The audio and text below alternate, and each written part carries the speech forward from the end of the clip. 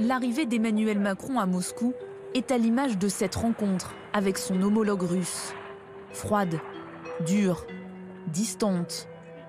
Pas d'accueil officiel sur le perron du Kremlin, pas de poignée de main devant la presse, le ton est donné.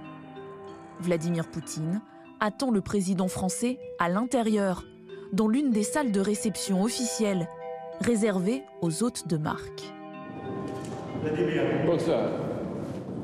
How are you? Fine, just fine. How are you? Do you have a good trip? Very good. Dans ce décor blanc typiquement soviétique, les deux chefs d'État restent à bonne distance, derrière une immense table en marbre blanc, aussi large que la défiance qui existe entre la Russie et les Occidentaux. La table du Kremlin de cette négociation marathon restera dans les annales. Poutine face à Macron, c'était vraiment le tsar dans son Kremlin. Un leader euh, déterminé, parfois brutal, qui revient toujours à son obsession, celle de, la grande histoire de la grande Russie. Pour lui, l'Ukraine, c'est presque une parenthèse. Ce qui compte, c'est vraiment l'Empire russe et l'OTAN, la menace de l'Alliance atlantique euh, aux frontières de la Russie. Un Poutine donc euh, qui fait régner une forme de tension pendant toute la négociation. Vladimir Poutine, dans son rôle, celui de maître de l'intimidation et de la mise en scène, qui tranche nettement avec ses images au fort de Brégançon à l'été 2019. C'est l'une des dernières entrevues entre les deux présidents. À l'époque, pas de Covid ni de distanciation sociale. Le président russe apparaissait détendu, presque souriant. À l'époque, en 2019, c'est déjà une espèce de, sphinx. C'est déjà euh, euh, difficile de déceler chez lui la moindre parcelle d'émotion. Quelque part, il n'y a pas finalement de grand changement entre le Vladimir Poutine, Vladimir Poutine d'avant et celui-ci. C'est quelqu'un qui s'est renfermé, qui surtout a, semble-t-il, pris euh, quelques kilos. C'est quelqu'un qui n'a pas bougé de son bunker russe depuis deux ans.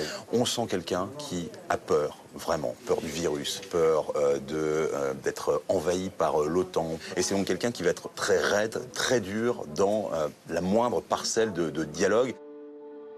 Le président russe, qui pourtant dit avec une ironie mordante avoir été torturé par son homologue français, Emmanuel Macron, qui pendant les cinq heures de discussion a tenté de temporiser.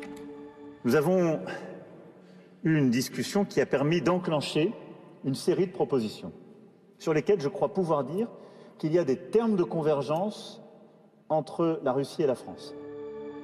Une petite victoire, car selon nos informations, le président Macron estime avoir obtenu des garanties de la part de Moscou. Vladimir Poutine l'a acté lui-même.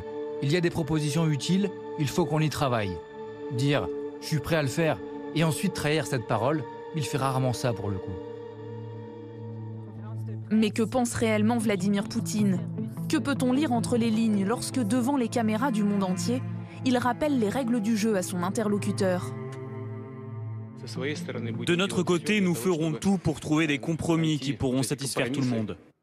Comprenez bien que si l'Ukraine rejoignait l'OTAN avec une reprise de la Crimée par des moyens militaires, les pays européens seraient automatiquement entraînés dans un conflit armé avec la Russie.